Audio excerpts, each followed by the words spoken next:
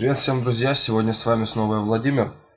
Э, расскажу случай из жизни, который произошел со мной вчера. Мой друг приобрел себе роутер для подключения Sony PlayStation 3 к сети интернет. Вот. На мой вопрос, зачем он это сделал, он мне явного ответа не дал, потому что все обуславливалось тем, что у него не было возможности подключить Соньку к интернету. Вот. Хотя у него также имеется ноутбук, как и у меня. И позже я ему объяснил, как можно было выйти из этой ситуации.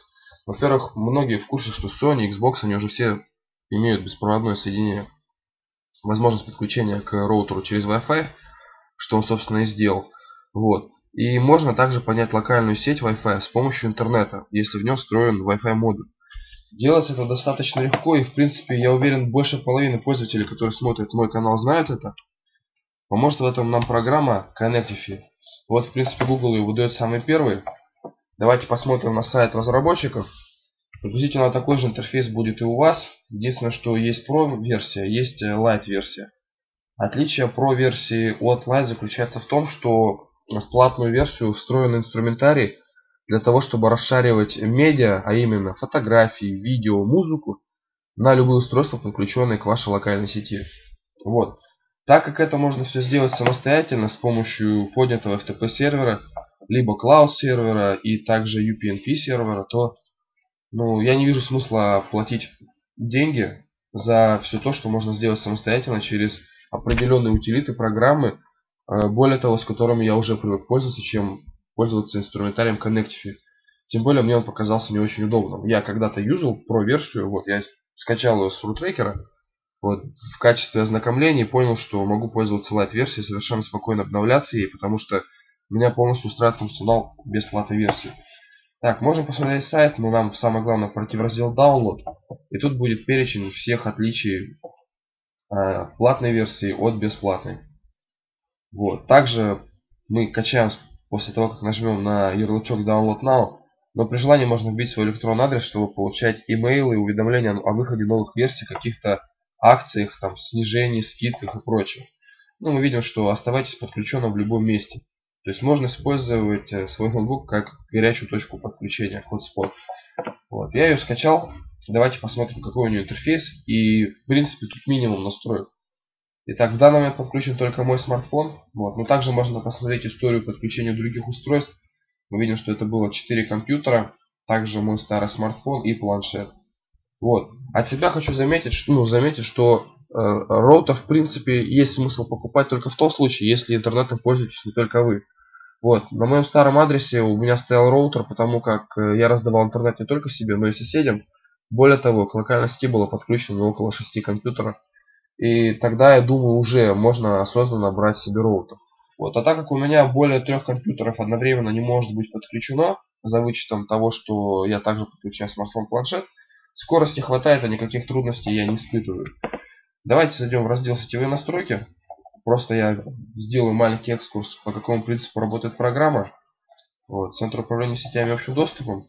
И давайте посмотрим, э, какие именно адаптеры у меня в данный момент имеются на компьютере. Вот, но в действительности их всего два. Это беспроводное соединение, ну, беспроводное сетевое соединение и сетевая карта. Остальные виртуальные для VirtualBox и Hamachi. Итак, в данный момент к интернету подключен через обычный модем и подключен он через сетевую плату Broadcom NetLink. Вот, то есть интернет получает мой компьютер, ноутбук из, э, ну, через стандартное подключение самое простое. Так вот в программке все, что от нас требуется, это вбить название нашей сети, какое оно будет. Я оставил по умолчанию. Также вбить пароль. Но если я кликну, пароль будет показан, поэтому здесь вы можете вбить любой пароль. И, собственно, нужно э, выбрать, через что у вас получает э, ваш компьютер, интернет. Но в моем случае вот мы видим, что это сетевая карточка, я ее указал, поэтому оставляем Broadcom NetLink. Вот. И через что мы будем распространять интернет? Ну, разумеется, по Wi-Fi, это самое главное. Вот. Также можно выбрать режим, э, режим подключения к вашей сети. То есть открытая точка, зашифрованная с паролем и вот зашифрованная с паролем по методу VPA2. Вот. Ну, я считаю это самый защищенный на данный момент. Вот, поэтому выбрал я его, и это подразумевает, что пароль может содержать как буквы, так и цифры. Вот, ну и также есть Firewall, но это уже будет доступно владельцам Pro версии. Также вот здесь у нас есть клиенты. Вот в Pro версии будет дополнительная вкладочка про версия расшаривания медиа. И там можно будет выбирать, ну, там можно будет встроенным инструментарием создать свое подобие локальной сеточки для раздачи видео, аудио, фотографий. Вот. Ну, что-то вроде домашней группы в Windows Media Player. Программка работает в фоновом, э, в фоновом режиме, то есть вот это вот уведомление в Tray, оно в принципе не запускается у меня, я его вбиваю самостоятельно. То есть если у вас есть необходимость там, проверить, как работает программа, кто к вам подключен, то можно запустить ее вручную. Вот. Ну и давайте ради интереса просто посмотрим, сколько она занимает. Access Connective. Ну, занимает она 40 мегабайт, но я думаю, в современных реалиях это ничто. Более того, она действительно работает. И как ее можно применять? Ну, во-первых, можно сделать свой FTP сервер. Я про это уже рассказывал, как это сделать.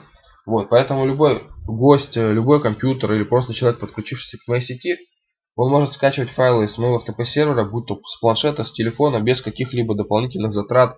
То есть ничего не надо поднимать. Локальная сеть, она действующая. Также, если кто-то хочет поиграть со мной в Вовик, у меня свой сервер World Warcraft, то также совершенно спокойно вливается в мою локальную сеть. У меня есть свой собственный IP-адрес. Также я могу посмотреть, какой IP-адрес у подключенных ко мне пользователей. Вот. Тут оно прописывается IP 192, 168, 217, 101. Вот, IP-адрес, разумеется, может отличаться от того, который на устройстве, то есть надо смотреть через эту программку. Вот, ну и просто, зная мой IP-адрес, друзья могут заходить на сервак Вовика, на FTP сервак. Также можно через Cloud сервер стримить музыку, видео, и при этом не нужно будет оплачивать про-версию. С вами был Владимир, подписывайтесь на канал, комментируйте. До скорых встреч, надеюсь вам понравилось.